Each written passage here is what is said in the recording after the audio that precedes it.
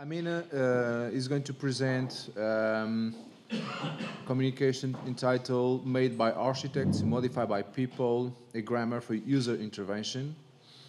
Um, Isabel will present a communication entitled Collaborative Mapping with Smartphones, an Artistic Approach. And Adriana Afonso um, will present a communication titled Graph Theory Applied to the Methodology of Landscape Planning. Um, as Camila is missing, I think we will be on time for the rest of the schedule. Uh, so you will have time for walk in the city before. so we will keep, we'll try to keep the schedule on, uh, on time for uh, the rest of the program. Um, thank you again for being here, for resisting the third day, the most difficult one, where everybody is starting to get tired. And uh, uh, Amina, when you are ready, thank you for your uh, collaboration. Thank you for being here also. And um, uh, we are all waiting for your presentation. Hi, everyone. My name is Amina. I'm from uh, Istanbul Technical University, and today I will be presenting you the early stages of my PhD research. Uh, so, doesn't work. Okay. So this is Climat de France, a, uh, a, housing, a huge housing complex in Algiers, uh, built by the French architect Fernand Pouillon during 1954 and 1957. Uh, so this project was a part of the Tenner Chevalier's intensive housing projects in which local people were relocated from slums where they, uh, where they used to live to modern house, houses during the last period of French coloni colonial rule in Algeria. And here did it change? Oh. And here you see a picture from Stéphane Couturier in 2011. So you can see the evolution of the project during all those years. So uh, there is Latour's, um, one of his articles is talking about the photographic gun, Marey's photographic gun, and how it doesn't exist in architecture. We always see building static objects, and we, we cannot uh, see their processes, evolution, and how they ages with time or how they transform. So I was, uh, so this is just a small uh, reference that intrigues me. And uh, I, I, used to work with shape grammars. Uh, I'm still working with them. So uh, Rudy in the first day and Rui in the second day already gave us an introduction about shape grammars.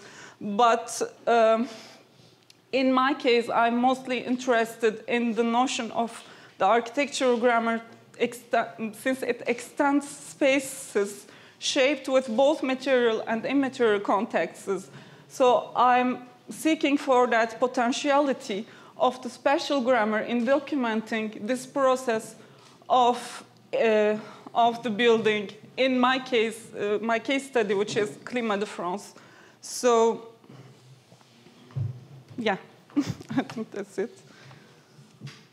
So in order to understand uh, the user intervention, I think that it's important to briefly introduce the architecture of the building. So and the architect, I won't talk about him uh, as much, but he is an important figure.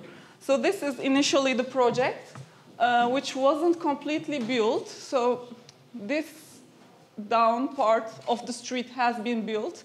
The rest has never been realized, but still it's a huge complex. I mean, it's a huge neighborhood.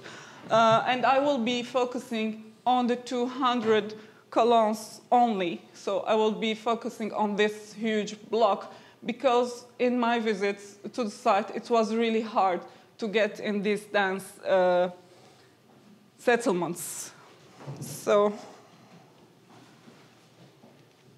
so this is the plan and the elevation of the 200 columns. Um, it's a 261 meters length with a 66 meter width uh, block. It has uh, 57 blocks and uh, 48 of them are repetitive. So 48 of the blocks are the same and he have different solutions on edges. The rest is all repetitive. And uh, his architecture mainly consists of two main grids. So he has a one to 100 to 100 grid, which regulates the columns and the facade openings. And on the other hand, he has this 60 to 60, which is too small, you can't see it, grid, structural grid, which define all the interior partitions of the units. So these are, these are pictures from uh, the construction. You see the columns. And here you can see the slab construction and the 60 to 60 grid and the divisions. So one block of these 40, uh, 48 blocks consists of nine meters. It's nine meters uh, length, sorry. Yes. So once we have, uh, you have the staircase in between and e uh, one apartment on each side. So we have three meters on one side, 240 for the stairs, and then five, uh, 360 for the other uh, apartments. And majorly in his facade, we have three main openings. One for uh, the apartments, the living areas, the other for the staircase, and uh, a last one that he introduced uh, on the upper level of the housings, of the houses. So as you see, it's a very repetitive and very strict architecture that we have here. So when we go back to the people, to the residents of these projects and what they have been doing, um, I will need to first see the existing layout in detail to understand uh, the kind of environment they, they are living in. So this is a 25 meter square apartment with a 1.9 uh, meter square wet area. So this is the toilets, the bathroom, and everything that you need. So you have a tight kitchenette, a living area, and one bedroom. So this is the, the, the layout of most of um, the apartments, which is populated by uh, crowded Algerian families. So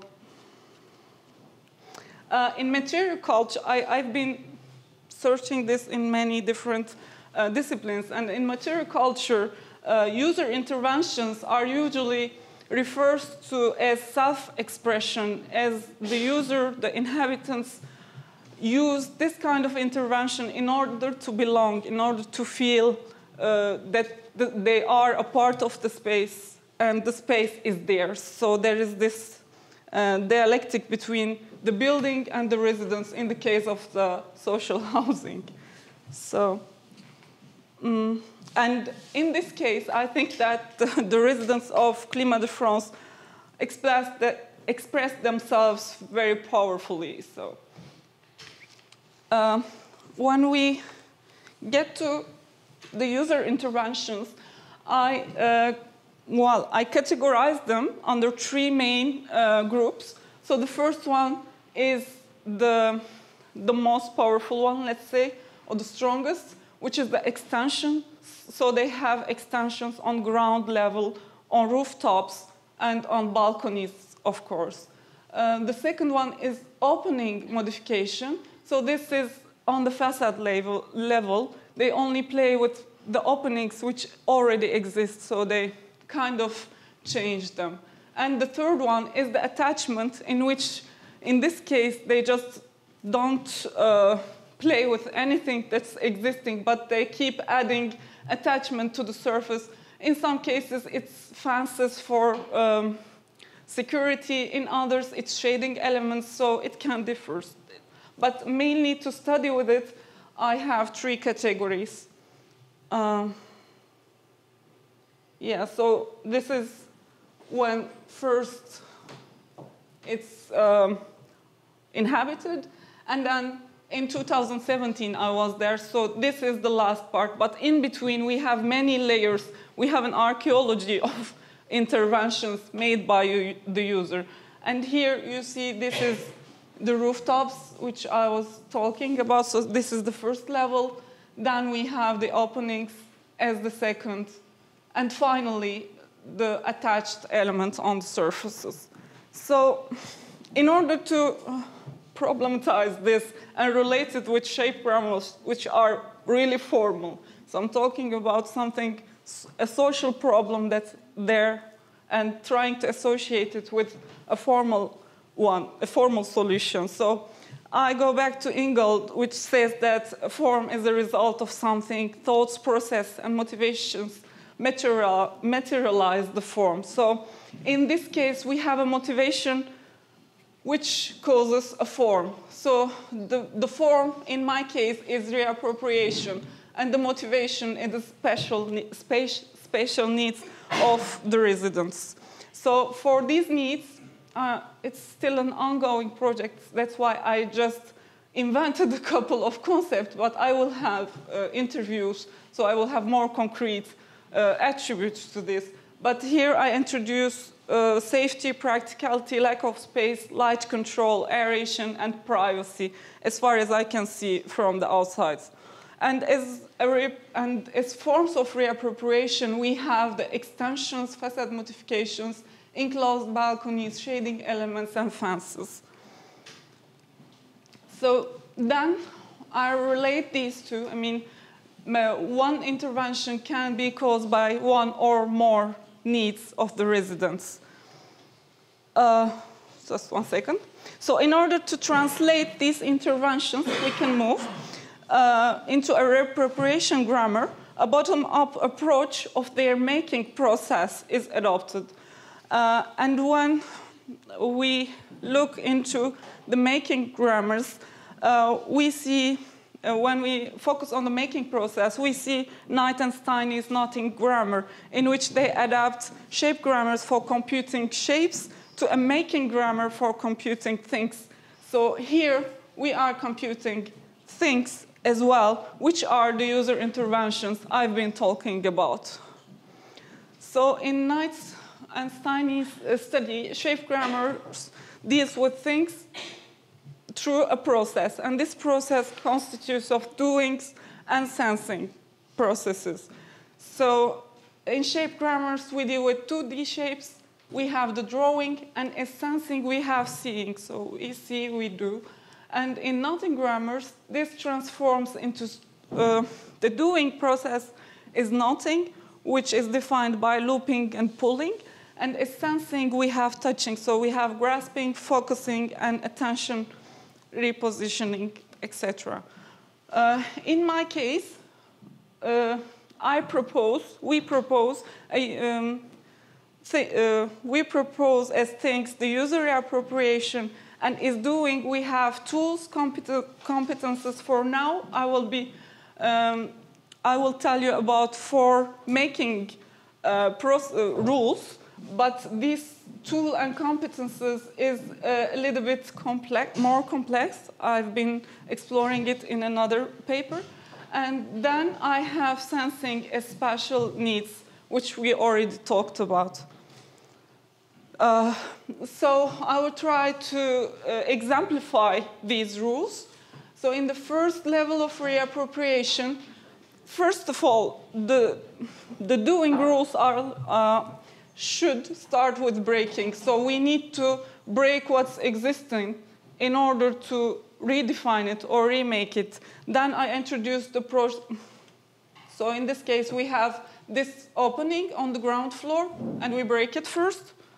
Then we enlarge it, redefine it. So we redefine the opening according to our expected modifications.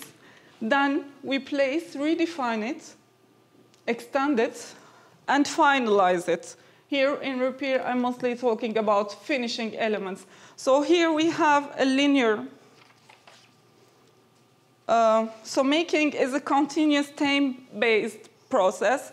And the grammars, on the other hand, um, just stop at uh, one defined, a specified frame of time and show us one output. So this is just a fragment of, of what could be happening infinitely. I mean, as many as users we have. So these are examples of uh, extensions. And in the second level of reappropriation, uh, I have the same rules. So we have this breaking, redefining, fixing, and repairing. So we need to remove the existing opening or frame and then redefining. And here we have, due to the stone used on the facades, in fact, we have very um, defined opening redefinitions because the stone is restricting and helpful at the same time. So they make use of that.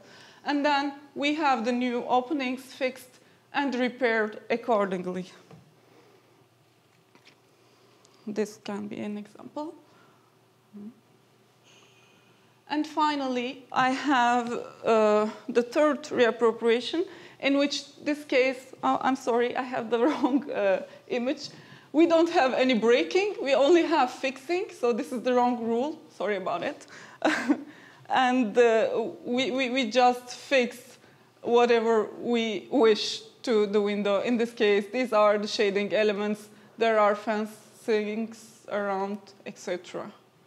And uh, while we, we, we propose a user intervention grammar as a tool of documenting, understanding, and assessing the user-oriented adaptations in Climat de France, uh, but we have so many questions, and I don't know how many of them we can handle through my PhD, but well, uh, can this grammar transform the static view of a building? Can it embed all this information? I mean, going back uh, with uh, all the informations of the residents, how the population increased and decreased, how did it affect the building, etc.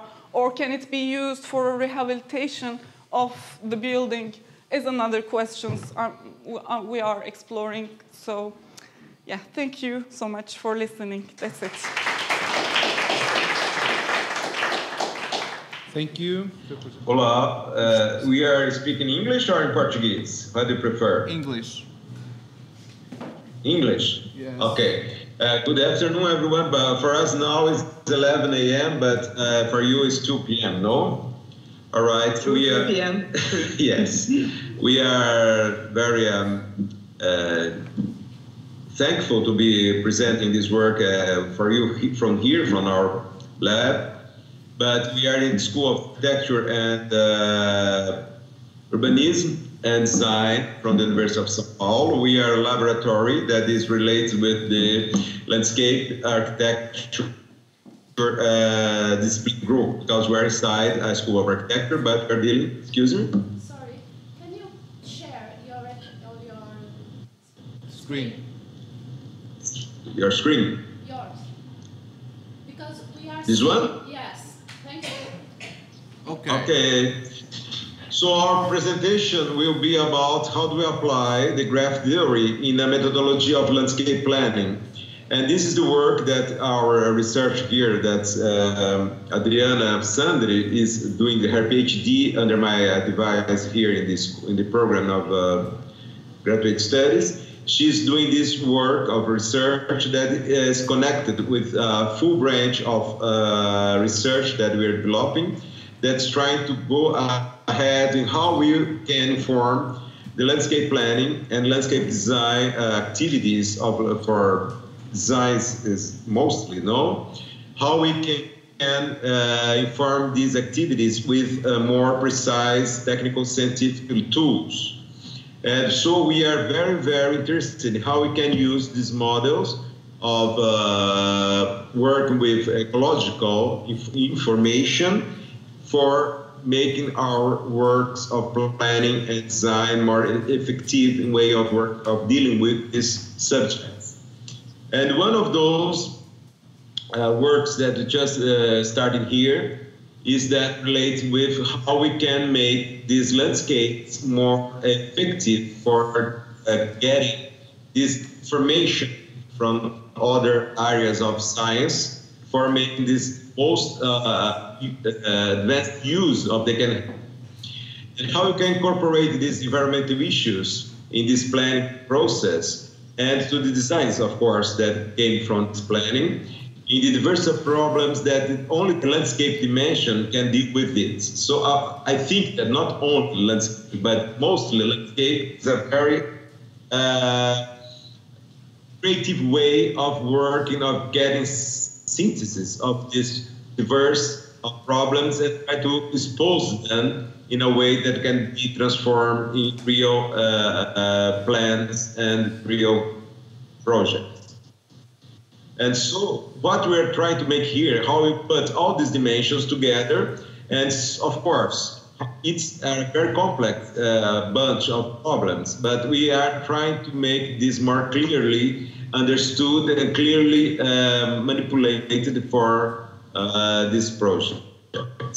And so what we're trying to show today here for you in this presentation is part of this project and how this uh, uh, Adriana, that's uh, by my side here, is going to be able to expose better how these tools will be applied for our work. As you can see in this here, uh, this was one of their first hypotheses because we're dealing mostly with urban watersheds and this is the watershed in an area in nearby it's uh, Sao Paulo. It's a very uh, dense area of branches, uh, rivers and creeks and all these waterways. And in a sense that the city is mostly in the parts of the outskirts of the city where these problems of these uh, interventions in the natural systems where the original creek used to follow there became a, a, a channel that's great, of course, because all these first interventions were mostly in the way of making the water more, uh, uh, you know, the drainage is mostly for the position of making the conveyance of the water.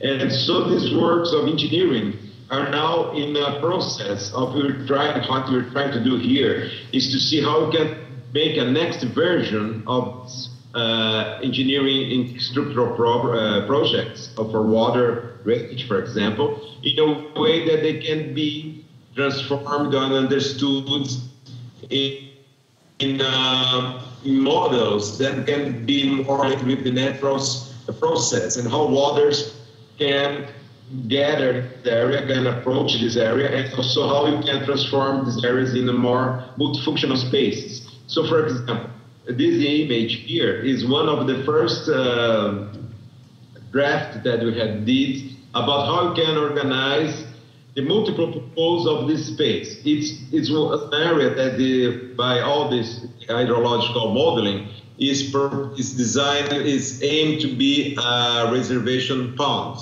for the runoff of the stormwater that gather in these areas. So instead of designing mostly uh, a huge pool that can be uh, uh, collecting all this water in a very uh, mechanical way of storing this water and releasing it after. We are trying to make new assumptions of how we can this function of water reservation for the runoff of the stormwater reservation and how we can make this also a machine for uh, regenerating the waters, and also how we can make this something that can be also viewed by people who live around these areas as something that can enhance their quality of life. They don't want to be uh, living nearby a huge pool that collect only the garbage and only the sediments and only the sewage that came from this area. But the, if you can transform this area in something like uh, uh, an uh, attractive landscaping area with all, all, these functions maintained, all these ideas of these functions could be something that we are trying to organize here. So I think that Adriana can go further now, explaining how it can also uh, relate to the uh, graph systems, okay? So, as Paulo said, when you see into to look into a lot, a lot of ways that you can go in. So you can look at the economical ways, you can look at the social ones, the hydrological. So we are wondering how we can put together all these parts of the project into a methodological process. So we're discussing how to incorporate the theory of landscape ecology into the landscape and landscape not only in the ecological way, but also considering the human, the, that the, where they walk, where it's going to be like in this picture way that you can see people and they use this space, not only for control the water. So we propose a theory use the usually graph theory to think what is the best places to select it to do project. So and what is the what is public green areas that you can select in a world in a universe a lot, of types of green areas that you can select to connect with the streams and the nodes. Let's extend um, the theory. So the theory is um, is a proposed usually in ecology to, to better understand how the animals goes into point to another. So as you can see in this picture, as how one goes to one point to another, where he's going to pass, how he's going to transpose the areas one green park to another. So that's the usual application of the graph theory into ecology so we are thinking about how to replicate this theory and this knowledge into the urban areas, how we can think and measure how the humans can walk and usually use the space in two different points. So let me explain. Uh, so if you do, if you look at this, one point B, you look at one point A, one point B, you are wondering how it's easy to go to one point to, the, to another. So the graph theory, you can measure the link, difficult points, but as you can see, the, the lines, the green line is the links, and the points of uh, the black points is the nodes. So you, you can put a value each node, or as you can see, which can be a park, a green area, a square, a street, a central point in the city. And the links can be the streets, the rivers. So we can put a value in these points as uh, so considering the like um, the size of the park, uh, considering the type of the area, the amount of vegetation. You can look at what you want and put a value in this node. So if you want to go to one point to another, you go by links, like streets. In the streets, you can also put a value in the streets. How you can put the um, slope of the street so we can walk, the numbers of the buses that go through these links. So you can put values and characterize these points. So as you can see, if you look at one point, this is an example. This point A, if you want to go to another point of the square, it's the difficulty that you can achieve the another point of the square.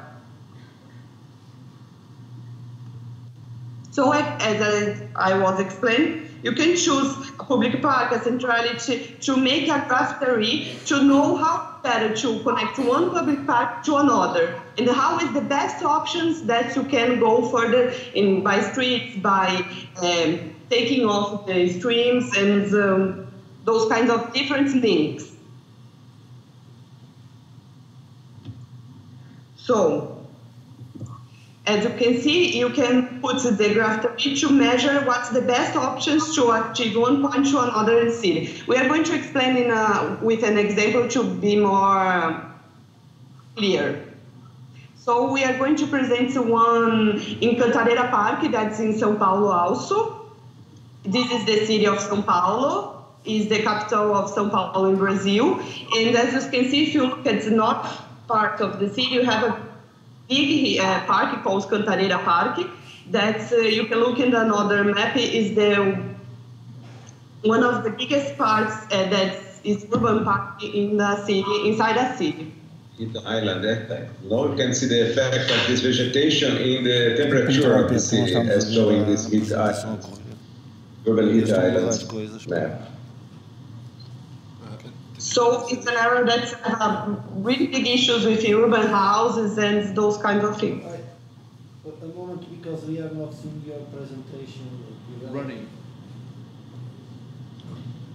Yes, I'm not seeing the slides. we are seeing all, only one image. The same. Which one? The graph. Not changing the image. Landscape Right. ecology, landscape planning. Graph theory, cost surface. Ah, Mm, you are not seeing the. next. Uh, Uh, let me stop and continue again.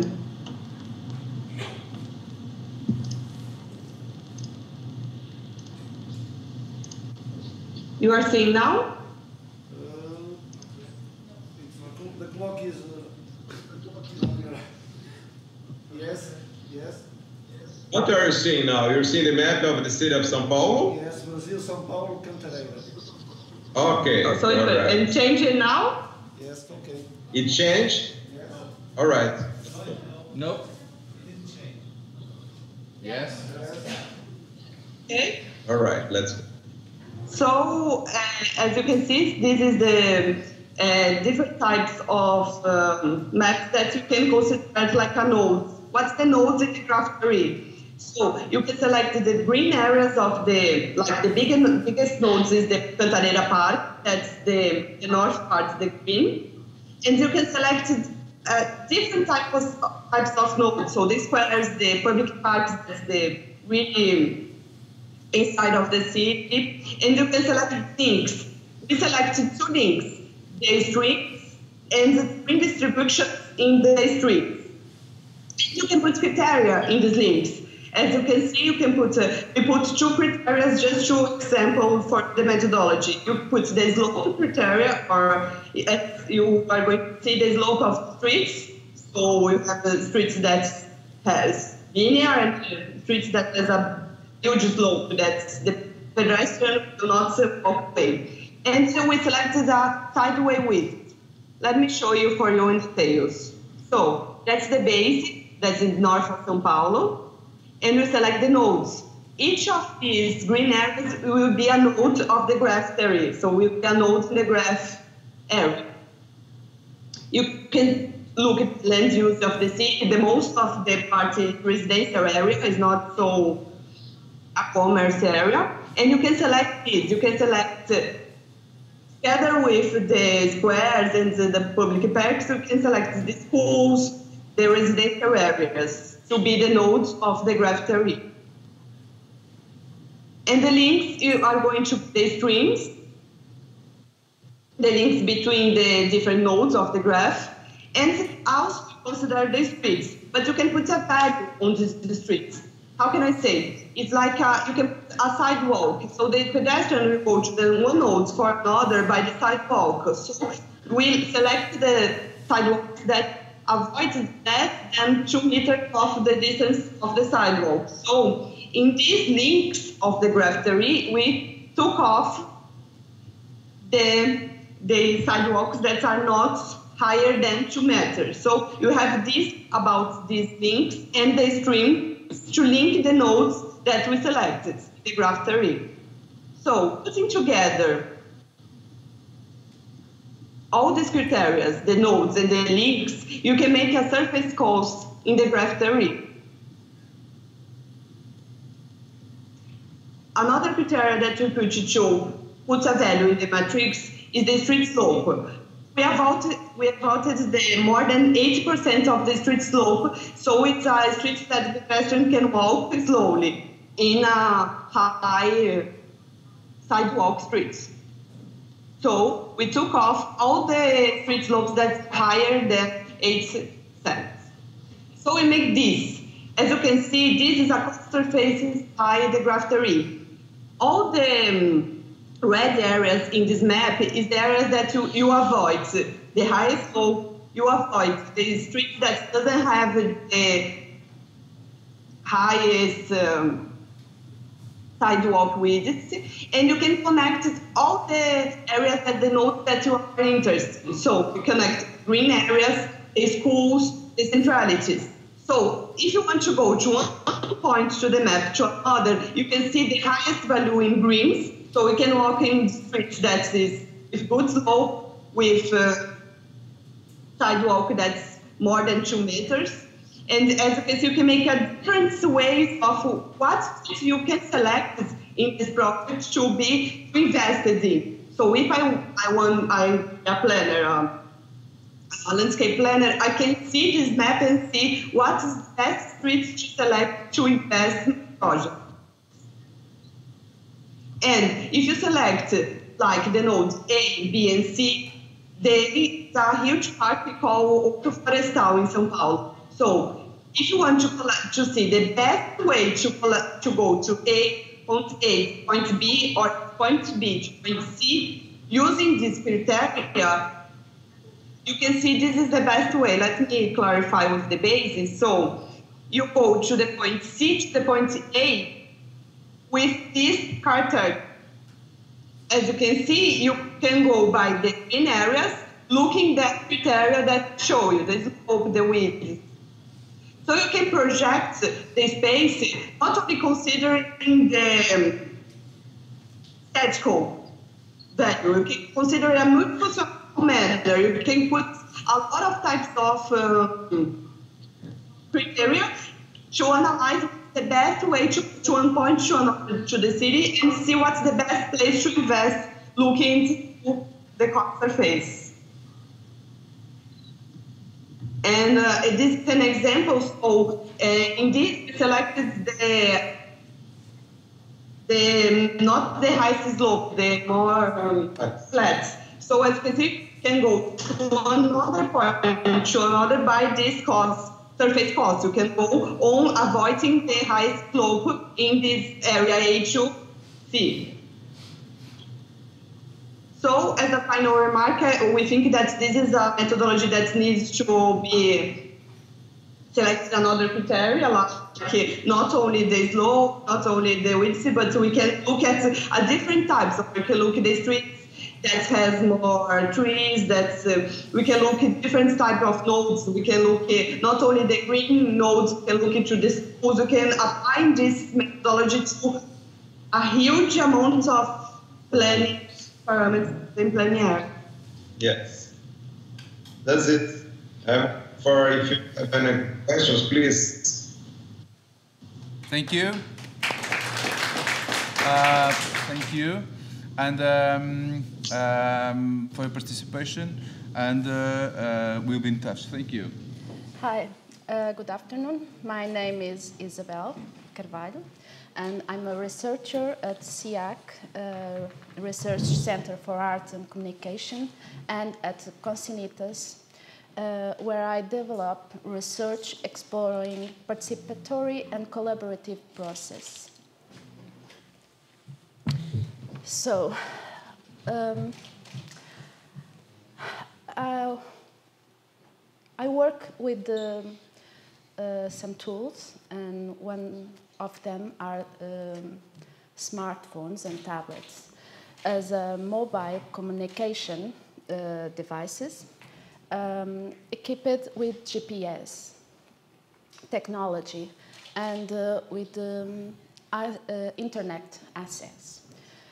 Uh, so we can have the ability to produce and reproduce images, um, content, information, um, and and I explore it uh, as an increasingly tool of urban exploration and experimentation.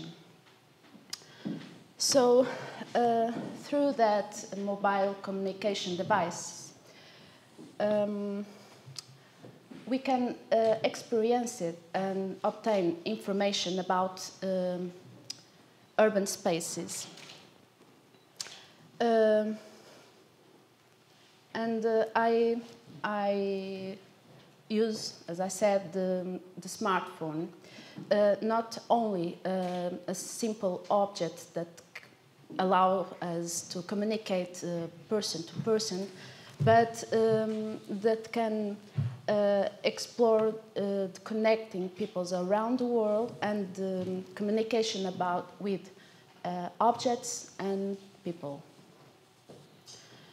So I explored the communicational and computational ubiquity um, and that promotes uh, higher levels of communication and interaction. So, um, considering this a tool, um, it, it allows us to extend the human uh, memory and give the, us a way of cyborg users. So, the social interaction mediated by technology um, enunciates new ways of civic participation um, in increasingly um, interactive territories. So, um,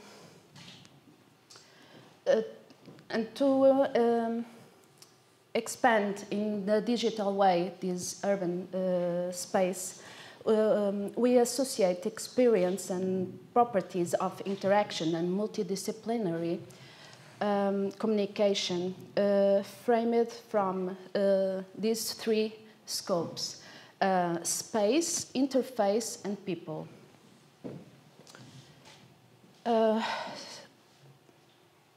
So, I explore um, art, science, and technology with um, locative media art um, and associate art, uh, technology, science, and digital storytelling in artistic urban interventions um, based on mobile communications.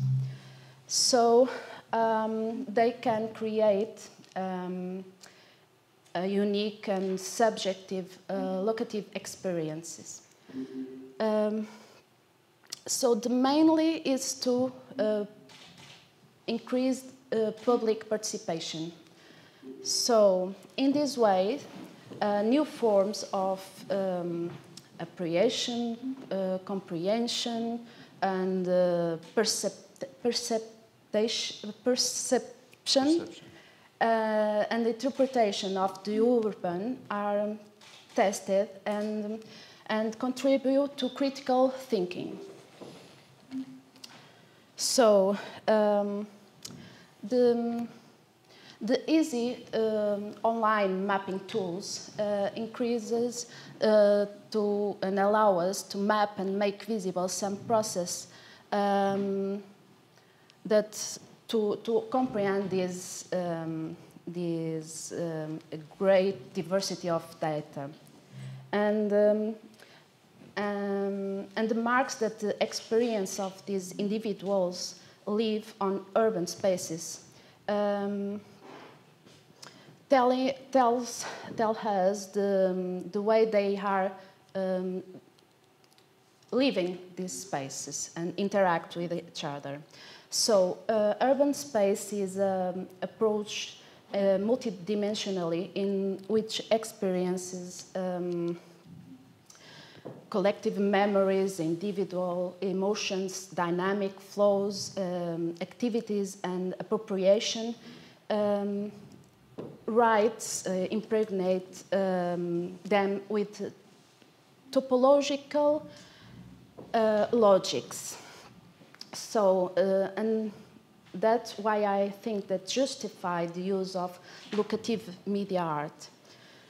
Uh, to to conforming this dynamic mapping and combining time and experience uh, and these dynamic apprehensions of urban form. So, um, according to uh, uh, Pred, and I quote, plays are never finished, but always uh, becoming. So, in, in urban imaginaries, uh, Silva in 2001 says that um, the idea of this constant and constant renewal by everyday and collective events um, advancing in an interdisciplinary perspective in the analysis of urban space, highlighting the importance of the collective imagination. So um, I also have uh, more three reference, the Lynch, Cullen, and Jacobs, um, to this uh, spatial analysis from the visual component. So uh, they can also highlight new ways to concil conciliate the emotional and sensory uh, experience in the mental construction of urban image. So we, we start from the situationist legacy with the urban drifts to fill uh, the urban space, but now with the different tools. So um, we start to doing some uh, walking drift, uh, urban drifts um, without a previous path uh, to understand how uh, some uh, collaborate uh, participant, participants, collaborators, yeah, uh, they react to the different spaces. So uh, we, we want to associate the concept of the flaneur now with a cyber flaneur. Uh, so we explored the contribution of the smartphone uh, in this, in this um, uh, walking art practice um, and in an in interactive and playful way that can allow us to, to preserve or register the, the path. So we, we we set some tracking apps, uh, my maps and my, uh, my tracks, and we gave to the participants, to the different, uh, uh different um, urban actors. So they weren't uh, just tracking without knowing, no, they are uh, collaborating with us. So the, the paths they, they did, the, that different color is a different path. So we, we representing the individual, but the reflects on the collective way they um, they um, they they interact with the space. So, quoting the wall, uh, each individual track record can also be aggregate and on a collective level, and this can lead to the visualization of collective rhythms in new ways. What is new in all these examples is that they extend the moment of the performance of social roles to additional platforms and additional publics, as in audiences.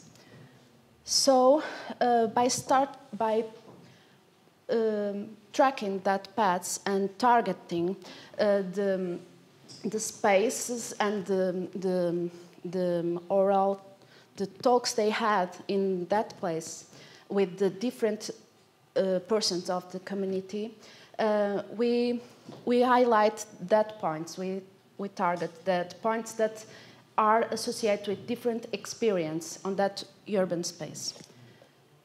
So I'm, i must refer that all these ex, uh, explorations are in a consolidated uh, urban uh, space. So um, after that, after we choose the, the points to target, uh, the community share and record videos and uh, image and um, with the different stories. Uh, for example, this is in north of Portugal. Um, it calls uh, Vila de Caminha, and they uh, uh, in the in the sex in the 60s, uh, I would say generation of 60 years, they all told stories to the um, relating to the time of the Portuguese political police, uh, speed, and, the, and that was um, responsible for suppression of freedom and, and liberty of thoughts and movements. And they controlled the, the, the border with Spain, and there was a lot of um, stories about that. So we geolocated that narratives, that stories, and we attached to, the, to that particular space with um, uh, that digital content relating data, memories, location, and mobility. So in, um, in a symbiosis of spaces uh, and working with uh, virtual reality, augmented reality, and mixed reality, we, we compile uh, different uh, data, image, text, sounds uh, into that. So we think that we consolidate the notion that um, urban spaces have stories and that can be captured and recorded and shared inter and trans um, uh, di dimensionally. So uh, that experience was the first experience, and uh, we understand that it is possible to write, add information, and express uh, views and opinions, and put that um, opinions in digital space that we can um, assess in physical space. So, um, collect consolidation, that um, collective memory. So uh, then we, we, we did more uh, for experience and um, exploring that uh, attributes of space, different space, and um, and uh, the different experience of collaborative mapping in consolidated urban spaces um, constitute a process in which they allow to uh, annotate and attack, attached image information, sounds, uh, contextualization that information. So, um, so the, that uh, collective and collaborative map was also um, useful for the students because they could um, they could um, uh, write uh, proposals in that map in, in real time. Um, they, they put the, um, some strategies they were thinking, and in some, some of them are in Lisbon, some of them are in the north of Portugal, and they, they could um, comment the ideas of each other in real time. So, in digital environment. So it was a, um, a base of discuss, uh, discussive, uh, discussing and critical also about that place. So um, then we, we, that was a, a, a, way of getting different inputs to, to, to, to then uh, work the, by, um, in, a vis in a visually uh, maps. So this instru instrumental component of the collaborative map um, allow us uh, to get significant um, understand of different urban flows. Uh, utilizing um, use it as a tool of, for interpretation local dynamics, making uh, itself a um, dynamic and interactive map in real time. So um, then it, this is another experience that the in a collaborative mode they they it was just in an afternoon and they they produce a lot a lot of data. So uh, they put, they insert different to different information, videos, uh, positive positive um, information, negative information, uh, what they feel, what the what they suggest. Um, the, the, they track their uh, path and they record some conversations with the locals.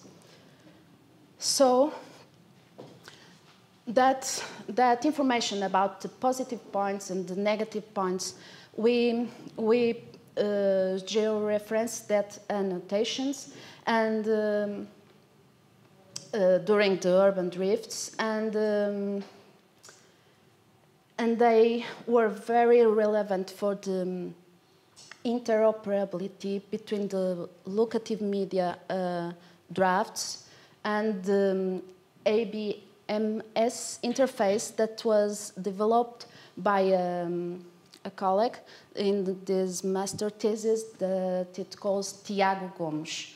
So the, the urban drifts gets inputs to this uh, in the humanistic perspective to, to this analysis. So, uh, so then we export this data information obtained in local um, by the collaborative mapping and uh, to this interface. And um, we, we put these inputs in this agent-based analysis. So the, the good points, the, the green points they consider, it, we translate to the uh, special points of attractions, attractors. And the bad points, the negative things they, they consider, we put in the repulsive deflectors, to which these agents uh, will uh, simulate social behavior in flows and movements, as you see. So um, I think the research gains more complex levels, and at this point, um, uh, regarding the interdependence uh, with the morphologic approach and uh, this agent-based analysis. So um, we start. Uh, we we did more four or five experience like this, so, and we are getting more and more uh, participants. Uh, so we started to getting a huge amount of information. So um, in this period of this discussion, we have different inputs from different actors. So we, we promote the e-participation, but we need to quantification and measurability uh, of this data process. And this is um, something we have to work. So, but the, the more than the technological experience in, in these uh, five experience, uh, we highlight the the, the artifacts placed the emphasis on the relevance of the social process.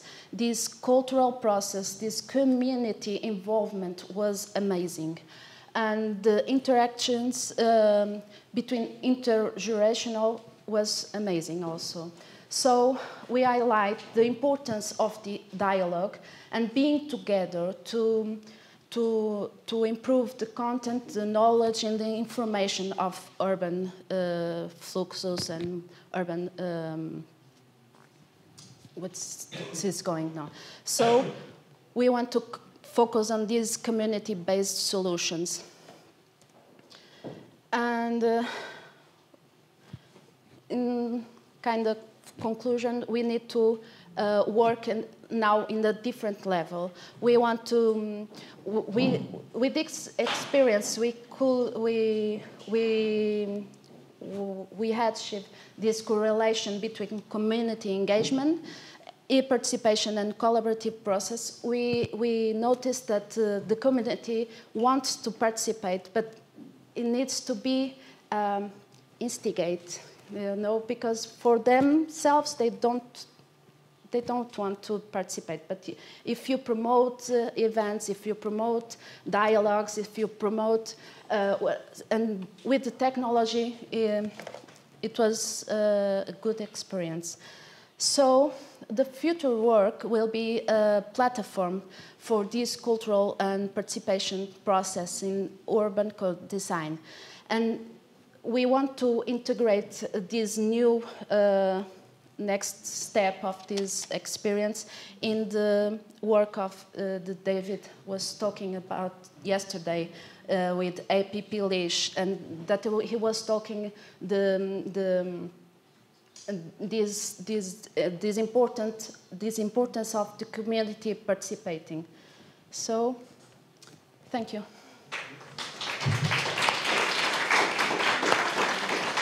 Questions, please. I just have a quick question. You, uh, I saw in one of your slides you have emotional sensory experience, and uh, I was wondering if you started to measure that yet, uh, through questionnaires or pulse or heart beating or any sort of uh, caption that you were doing together with the uh, cell phone applications. The first experience, the, the participations were students at different levels. It was at uh, ILI students levels and the university of the um, master's degree.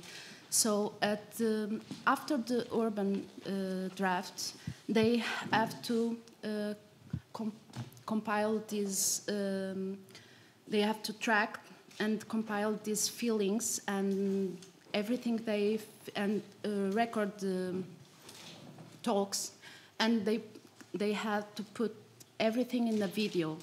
So it's um it's a way they they transmit what they feel in the and but um, another um, the application of the smartphone it uh, they record the, the, the velocity uh, velocidade velocity, higher, um, a lot of parameters. So now we have, we feel the, the, the need to uh, quantify uh, uh that, that information.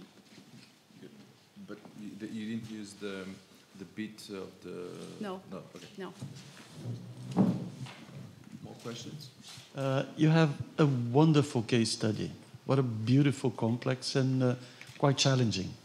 Um, you showed us uh, your analysis of the transformation on, on, the surface, external surface. Do you intend to analyze the internal and uh, you know changes? Um, uh, how will you do it? With shape grammar? Um, which kind of, uh, of tool you'll use to understand uh, the different changes? I'm sure that it happened inside, even though the plans are quite small, but uh, you, you, can never imagine how creative, again, using People difficult word, but anyway, they can manage to, to transform the space. Yes, it's, it's a very challenging site, by the way. I, I've been there once for my research, and I could only, I mean, pick the blocks because it was huge, so I, I didn't know where to work exactly. So at the end of the next month, I'll go to do the second part of my field research, and in that case, I'm planning to visit the interiors of the houses. But I don't know how many houses I could enter, what kind of data I could gather. I think that the tool that I will be using are dependable on the data that I will collect. So for now, it's uh, quite ambiguous. I don't know yet but uh, soon I will find out. Yeah, thank you. Yep, Jyoti.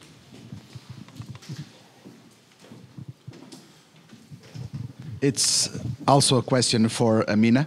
Uh, I like very much the presentation. I, I would like to know if you think it is feasible to apply your methodology uh, to other case studies, because your case study, uh, the basis is already uh, very strict, ruled uh, in terms of composition. So what can happen from change is already controlled. Do you think it is feasible in other cases, more complex, uh, to use your methodology, or is too much complex? Think I think it it depends. We started as modernist housing blocks, so th that was the the study which the study based on. So yes, Climat France is a very strong uh, case, but there are so many other repetitive, especially in social housing. Yeah, that's the way we do it. I mean, to be fast, cheap. It's generally repetitive and uh, huge. So that's why I think that it can be applic- yani, That's why I attended this study, but it needs to be tried and yeah, justified. Probably you can work with David i- in the, Yes, the project. I was very uh, happy, pleased to see him as a ch- in uh, in this discussion. Yeah. Another question? Yes. Um, I was- I was looking for the notes. uh, at some point at the end of your presentation, you said um, uh, you raised a few questions, and one of those was if the the grammar could uh, predict or something like that uh, further changes. No. No? Not No. predict, but can we evaluate? I mean, by using these analysis, can we uh, produce a more adaptive, context adaptable rehabilitation of the existing projects? But um, in the sense that uh, to, to build a structure that would be more uh, easy to make adaptations or to have uh, this coded in some sort of grammar to make the uh, these modifications. This is the part that I didn't understand. Yeah, it's in my case study. This particular project, it's most of them wants the the residents wants them to be demolished. So we, we have many cases. For example, Robin Hood uh, housing complex in London. It doesn't exist anymore, etc. So this is probably the future of most of these complexes. So therefore, maybe we can propose a rehabilitation a reno- renovation project for these cases that would make uh, residents feel yeah belong more or feel more comfortable maybe through analyzing uh, their struggle with the space this is what i'm looking for Just the microphone. very, very interesting work, and uh, it would be uh, very, very often uh, we would have studies like that because these we can retire patterns. Uh, well, uh, Joaquim Flores. Well, you discovered an issue in your uh, in your uh, example because it's uh, very uh, orientates the pattern. But uh, I think that we can uh, develop more general patterns than what you are studying. And well, those patterns, I think they demonstrate the conflict between the architect and the user. And this is very important to the architect. Where is the conflict? And I don't say the user is right. I think many times the architect is right. But for example, if the user makes change because of uh, clim- climate uh, uh, condition, I would say the, uh, the architect is uh, wrong. if he does because of uh, other things, maybe the, the architect is right and the user is wrong. Uh, I don't know. Uh, but this is a discussion that uh, would be very, very, very interesting and, uh, well, for the work of the architect, I think it would be exemplary. Uh, it's a necessary work that uh, I, I don't see many, many uh, work done in this, in this kind of of problems that I think it's uh, very, very important. I, uh, well, I don't know, but uh, uh, maybe you don't know, but in Portugal there is a, a conflict that we over know. It's the closing of the balcony. the architect opens the balcony and the user closes the balcony. Who is right? More questions? Uh, I have a question for you. Uh, you show us how you, uh, in a way, try to structure the, um, the, the, the place, the building. And um, how about the appropriations? Uh, do, you, do you have some kind of um, uh, rules to structure the, the, the sort of appropriation that you are going to identify? And uh, is there a kind of criteria for those you consider useful for the reappropriation, for the rehabilitation, or and those that you do not? And if you are going to do this, how is the, the balance between the those you consider positive and those you consider negative, and where do the people that did this transformation enter or not? Yes, I think that's the most critical standing point of the whole research, and I think it's really crucial to uh, get in touch with the residents themselves. So, um, since I still don't know why they did those transformations, uh, I can only assume some uh, reasons, but yet I think that um, you you point out you pointed out something very important. I mean, if it's climatic, if it's cultural, Mhm. because they need more privacy, that's crucial to the rehabilitation probably. But there are other problems as well, because in this case, it's really a ghetto, and people are very angry. They are very um, they, they don't like uh, the authority, they don't like the country, they want to damage everything. That's why not everything that they are doing makes sense. So I think in that aspect it would be easier to categorize them. But yet it's just an assumption for now. And then they will enter in the process of the. Okay, okay. They should. More questions? Uh, if there's any other question, uh, I just had, want to add something to the presentation of Isabel. Uh, this symposium, uh, for the first time, has this uh, scientific field, mapping and tracking, uh, exactly because we, for two reasons uh, mainly. Uh, one of them was the sort of data that you can collect from devices like this. It's also data that we can work with when working with uh, urban planning or architecture.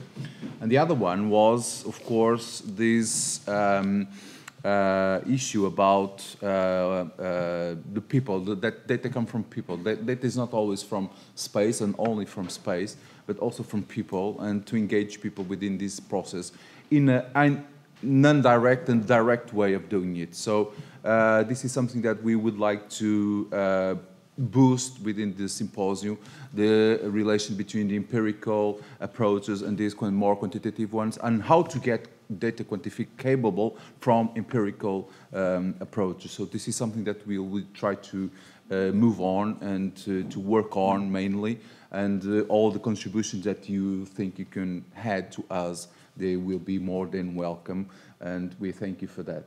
Um, if anything else for now, uh, I would uh, recommend a short coffee to try to get back on schedule um, and then back to the final uh, session. Thank you.